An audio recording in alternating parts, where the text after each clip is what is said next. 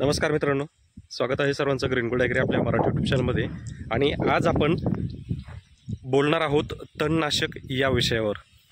मुळात तणनाशकामध्ये कापूस पिकावर बरेचसे चार पाच प्रकारचे वेगवेगळ्या कंपन्यांचे चांगल्या चांगल्या नामांकित कंपन्यांचे तणनाशक आहेत.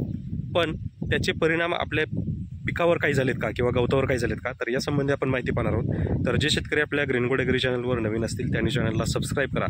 सोबत नोटिफिकेशन बेल प्रेस करा म्हणजे आलेल्या व्हिडिओचं नोटिफिकेशन तुम्हाला मिळेल. तर तुम्हाला हा समोर दिसतोय हा जो प्लॉट आहे तर हा आपला पूर्ण कापूस प्लॉट आहे जवळपास दीड एकरचा. तर याच्यामध्ये आपण काही वापर केलेला नाही आहे पण माझ्या शेजारचे जे प्लॉट आहेत हा एक मागच्या बाजूला जो दिसतोय तुम्हाला तर हा सुद्धा कापूस प्लॉट आहे. पलीकडे सुद्धा तीन चार प्लॉट हे कापूसच आहेत. पण मात्र झालं आहे असं की हिटवीड हिटवीड मॅक्स त्यासोबत टाटाचं केवट अल्ट्रा त्याच्यासोबत डोझो म्हणून आहेत किंवा बऱ्याचशा कंपन्यांचे वेगवेगळे तणनाशक आहेत. बऱ्याच शेतकऱ्यांना काय झालंय की तणनाशक मारलंय पण रिझल्ट आलेले नाही आहेत आता हे कशामुळं झालंय? पहिली गोष्ट भेसळ दुसरी गोष्ट गवत मोठं झालंय म्हणून मारण्यात गेलंय. म्हणजे गवत मोठं झाल्यानंतर मारलंय आणि त्याच्यामुळं त्याचा रिझल्ट मिळालेला नाही आहे तिसरी गोष्ट की चुकीच्या कालावधी मारलं मध्ये मारलं गेलं आहे किंवा याच्यामध्ये सुद्धा बनावट आता यायला लागली हे चार पाच कारणं आहेत की ज्यामुळं आपल्या शेतकऱ्यांना रिझल्ट येत नाही आहे पण तरीसुद्धा मला एक असं पण जाणवतं आहे की बऱ्याच वेळा काय होतं की शेतकऱ्यांकडून सुद्धा तणनाशकं मिक्स करण्यामध्ये चुकतं आहे किंवा कधी कधी असं पण होतं की गवत आपलं पूर्ण वाढलेलं असतं. आता हे काही जे हिटविड मॅक्स असेल किंवा केवट अल्ट्रा असेल किंवा डोजो असेल किंवा इतर आणखी कंपन्यांचे इतर तणनाशक असतील. तर बऱ्याच तणनाशकांमध्ये काय होतं की कालावधी आहे साधारणतः पंधरा दिवसाच्या आतमध्ये आपल्याला मारायचं आहे. म्हणजे साधारणतः गवत दोन ते चार पानावर असतानाच आपल्याला त्याचा स्प्रे घ्यायचा आहे. या कालावधीमध्ये ज्या शेतकऱ्यांनी स्प्रे घेतला आहे त्यांना चांगला रिझल्ट आला आहे पण त्याच्यानंतर ज्यांनी घेतलं म्हणजे साधारणतः वीस ते पंचवीस दिवसामध्ये ज्यांनी घेतलं आहे तर त्यांना रिझल्ट आलेला नाही आहे पण माझ्या समोरचेच प्लॉट असे पण काही आहेत की ज्यांना दोन दोन पानावर असतानाच स्प्रे घेतला आहे पण रिझल्ट मिळत नाही. तर या गोष्टीकडे सुद्धा आवाज उठवण्याची गरज आहे. आणि त्यातही जर एक फसवणुकीचा जर विचार केला तर मला तर वाटत नाही की टाटासारखी कंपनी काही बनावट करू शकते. परंतु बऱ्याचशा शेतकऱ्यांचं हेच म्हणणं आहे की तणनाशक बरेच वापरलेत पण रिझल्ट आलेला नाही आहे तर माझं शेतकऱ्यांना एकच सांगणं असेल की शक्यतो तुम्ही तणनाशक मारण्यापेक्षा जर बैल मशागत केली तर तो एक फायदा आपल्याला होऊ शकतो. आता आमच्याकडं बैल मशागतीचा रेट हा थोडा जास्त आहे. एकरी हजार ते बाराशे रुपयेपर्यंत घेतात.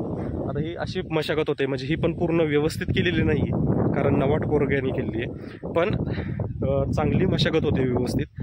आणि दुसऱ्यांदा ज्यावेळेस आपल्याला मातीची भर लावायची तर त्यावेळेस आपण टिलर किंवा छोट्या ट्रॅक्टरने सुद्धा मशागत करू शकतो आणि त्याचा व्यवस्थित आपल्याला रिझल्ट चांगला मिळतो. तणनाशकामध्ये काय होतंय की तणनाशक आपण मस्त पंधराशे रुपयाचं मारतोय पण त्याच्यात आपल्याला पाहिजे तो रिझल्टच मिळत नाही किंवा गवत आहे तसंच राहते परिणामी ते गवत जर एक महिन्याच्या पुढे गेलं तर नंतर आपण बैल बैल मशागत करताना सुद्धा बरंचसं गवत तसंच राहतं. परिणामी त्याचा फटका आपल्याला आपल्या पिकावर बसतो. म्हणून शक्यतो एक विनंती असेल मित्रांनो की तुम्हाला जर तणनाशक वापरायचं असेल तर आता शक्यतो वापरू नका. डायरेक्टली आपल्या बैल मशागतीकडे जा. मीही तोच एक पर्याय निवडला. कारण विचार केला की एकतर बैल मशागतीने किमान सत्तर टक्के गवत आपलं निघणार आहे. पण हेच जर तणनाशक मारलं आणि तणनाशकाने जर रिझल्ट आला नाही तर मात्र आपले पंधराशे रुपये हे वेस्ट जाणार. प्लस बैल मशागतीचे वेगळे. त्यापेक्षा शक्य असेल तुमच्याच्याने तर शक्यतो बैल मशागत करा किंवा तुमच्याकडे छोटे ट्रॅक्टर अवेलेबल असतील तर छोट्या ट्रॅक्टरने रोटावेटर मारून पूर्ण गवत साफ करून घ्या तसेच माती पण लावून घ्या. म्हणजे पुढं अडचण येणार नाही. आणि परिणामी काय होतं की मातीचा थरसुद्धा बदलतोय उलटा पलटा केला जातोय आणि मातीसुद्धा आपल्या कपशीला लागते. म्हणजे इतर मशागतसुद्धा तुमची त्यामध्येच होऊन जाते. तणनाशकाला वेगळा खर्च ट्रॅक्टरला वेगळा खर्च बैलाला वेगळा खर्च हे करत बसू नका. त्यापेक्षा सरळ सरळ आपली बैल मशागतच व्यवस्थित आहे. पण तरीसुद्धा शक्यतो ज्या शेतकऱ्यांना तणनाशक वापर करायचा आहे त्यांनी शक्यतो गवत हे छोटं असतानाच त्याचा वापर करा किंवा लागवडीच्या वेळेसच शक्यतो त्याचा वापर करा. आणि बऱ्याचशा शेतकऱ्यांना जो प्रॉब्लेम जाणवतोय तर शक्यतो तुम्ही याची कंप्लेंट त्यांच्या कंपनीच्या नंबरवर करा की तुमच्यामुळं कोणताही रिझल्ट आम्हाला आलेला नाही आहे म्हणजे किमान त्या गोष्टी ते मनावर तरी येतील. कारण आज जर आपला आवाज आपण उठवला नाही तर तो आपला आवाज जो आहे तर तो तसाच दाबला जाणार आहे.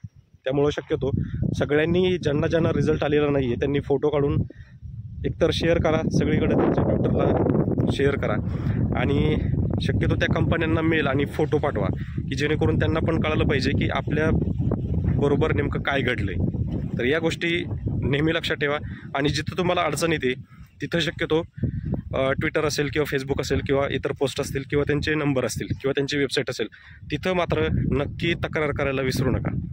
याचा फायदा आपल्याला पुढच्या वर्षीसुद्धा होऊ शकतो किंवा बऱ्याचशा शेतकऱ्यांना किंवा कंपनीला तरी कळेल की एक्झॅक्टली होतं काय. इतर आणखी कापूस पिकासंदर्भात तुमची काही अडचण असेल किंवा काही एन्क्वायरी असेल तर तुम्ही मला कमेंटमध्ये विचारू शकता. आणि हो तुम्ही जर चॅनलवर नवीन आला असाल तर चॅनलला सबस्क्राईब करा व्हिडिओला शेअर करा आणि सबस्क्राईब करायला विसरू नका. तसेच कापूस पिकासंदर्भात तुमची कोणतीही अडचण असेल किंवा तुम्हाला माहिती मिळत नाही आहे यूट्यूबवर तर मला नक्की कमेंट करा की हा विषय आहे आणि यावर आम्हाला संपूर्ण माहिती पाहिजे. तर त्यावर सुद्धा आपण नक्कीच चांगला व्हिडिओ बनवू. तसेच पुढचा जो व्हिडिओ असेल आपण नक्कीच ताकांडीवर बनवूयात. धन्यवाद.